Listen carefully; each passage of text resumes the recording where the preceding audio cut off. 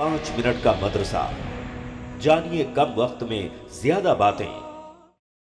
वालेकुम वरहमतुल्लाहि वबरकातुहू। नादरीन, आप तमाम का इस्तकबाल है हमारे प्रोग्राम पाँच मिनट के मदरसे में। हमारा आज का पहला मौजू है कुरान। अल्लाह ताला ने फरमाया अऊदु बिल्लाहि मिनश शैतानिर रजीम, बिस्मिल्लाहिर रहमानिर रहीम। व हुवल्लज़ी अरसल रियाह बुशरम बैना यदै रहमतिह व अंज़लना मिनस समाई माअन तहूरा। कि और वही है जो बारान रहमत से पहले खुशखबरी देने वाली हवाओं को भेजता है। और हम आसमान से पाक पानी बरसाते हैं। यहाँ पर अल्लाह ताला ये तीसरी दलील बयान कर रहे हैं। जैसे कि मैंने आपको बताया, टोटल पाँच दलील अल्लाह ताला ने बयान की हैं, जो इस बात की तरफ़ इशारा करती है कि इबादत सिर्फ़ और सिर्फ़ अल्लाह की होनी चाहिए। पहली दलील अल्लाह ताला ने ये दी कि अल्लाह ताला ने साय को पैदा किया, और दूसरी दलील अल्लाह ताला ने ये दी कि अल्लाह ताला ने रात को ढांपने वाली, इसी तरह नींद को आराम दे, और अल्लाह रब्बुल आलमीन ने जो है दिन को रोज़ी हासिल करने का, खड़े होने का ज़रिया बनाया। ये दूसरी दलील थी। अब तीसरी दलील अल्लाह रब्बुल आलमीन ये बयान कर रहे हैं कि अल्लाह ताला आसमान से जब बारिश नाजिल करते हैं ना तो उससे पहले ठंडी ठंडी हवाएँ, जो चलती है, तेज़ व तुंद हवाएँ, जो बारिश की खुशखबरी देती हैं, ऐसी हवाओं का अल्लाह ताला ने ज़िक्र किया कि अल्लाह ताला ऐसी हवाओं को भेजता है। बुशरम बैन दे रहमती, व अनजल्ला मिनसमाई मा अंतहुर और फिर अल्लाह रब्बुल आलमीन आसमान से जो है बारिश बरसाता है। ये तीसरी दलील अल्लाह ताला ने बयान की कि हवा है जिसके ज़रिए से अल्लाह ताला बादलों में पानी भर देता है, जो मुर्दा ज़मीन पर बरसते हैं और उस मुर्दा ज़मीन को ज़िंदा कर देते हैं। तो अल्लाह रब्बुल आलमीन ने इस पानी को तहूर कहा। ये फ़ुल के वज़न पर है, यानी आले के माने में। ऐसी चीज़ जिससे पाकिजगी हासिल की जाती है यानी इसका मायना यह है कि पानी ख़ुद ताहिर भी है और पाक करने वाला भी है। ताहिर भी है और मुताहिर भी है। यानी पानी जो है ख़ुद पाक भी है और पाक करने वाला भी है। तो अल्लाह के नबी हदीस में भी इसके ताल्लुक से काफ़ी तफसील आई है, वो आप देख सकते हैं। लिहाजा अल्लाह रब्बुल आलमीन ने अपनी निशानियों में से ये बताया कि देखो, अकल रखने वालों के लिए इसमें निशानी है, इबरत है हाँ कि आप उस अल्लाह की इबादत करो जो आसमान से बारिश बरसाता है।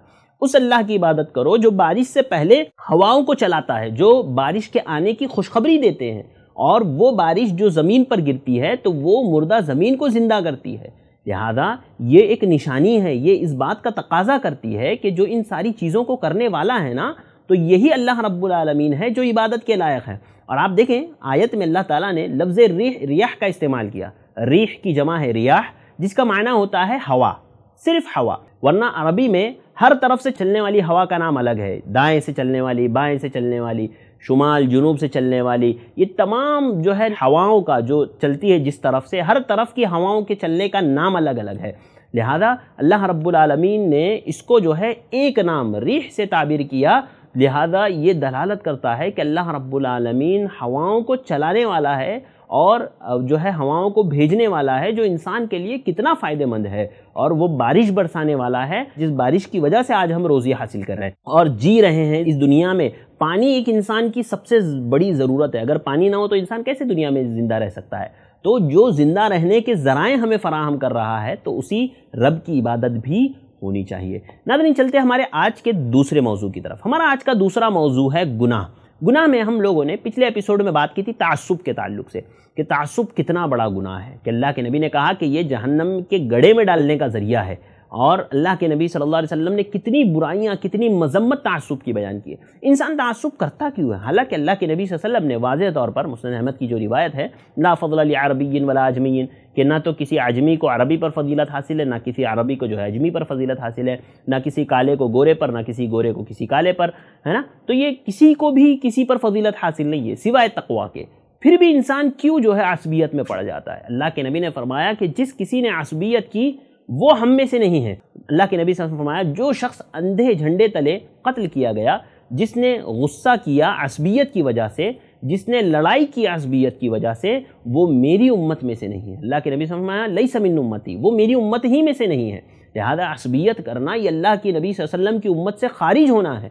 ये सही मुस्लिम की रिवायत है। अज़ीज़ भाइयों, दोस्तों, समझो, मेरी माओ बहनों, समझो। ये ये कहना कि भाई, ये मेरे घर वाला है, ये मेरा रिश्तेदार है, ये मेरा भाई है, ये मेरे चचा है, ये मेरे फ़लाँ हैं फ़लाँ हैं कह करके उनकी जो है, हर मामले में या मेरा बेटा है, हर मामले में गलती भी करके आया तो उसकी तरफदारी करेंगे। क्यों? क्योंकि भाई मेरा बेटा है, मैं कैसे उसकी तरफदारी ना करूँ? लिहाजा हर मामले में ये करना गोया असबियत है और ऐसी चीज़ इंसान को जहन्नम की तरफ़ ले जाने वाली है। अल्लाह के नबी सल्लल्लाहु अलैहि वसल्लम के उम्मत से खारिज करने वाली बात है। इसीलिए मुझे और आपको चाहिए कि हम तकवा की बुनियाद पर, जैसे कि अल्लाह ताला इल्ला बितकवा अल्लाह के नबी ने फरमाया कि जो फजीलत है ना एक दूसरे पर, किसी बुनियाद पर नहीं है, सिवाय तकये के। तकवे ही की बुनियाद पर फजीलत हासिल है। तो आप गलत को गलत बोलेंगे, सही को सही बोलेंगे, यही तकवा है। अगर आप किसी की तरफदारी करते हैं उसके गलत होने के बावजूद तो गोया आप जो है, नाइंसाफ़ी कर रहे हैं, आप जो है असबियत का शिकार है और ऐसी सूरत में अल्लाह रब्बुल आलमीन आपको जो है, इसका बदला ज़रूर देंगे। अल्लाह ताला मुझे और आपको महफूज रखे गुनाहों से, नेकियों के करने वाला बनाए। नादरीन, मुझे दीजिए इजाज़त इन फिर मुलाकात होगी। कुछ और बातों के साथ असल वरहमल वर्का ऐसे ही और वीडियोस बनाने में हमारी मदद करें। इस नंबर पर कॉल करें।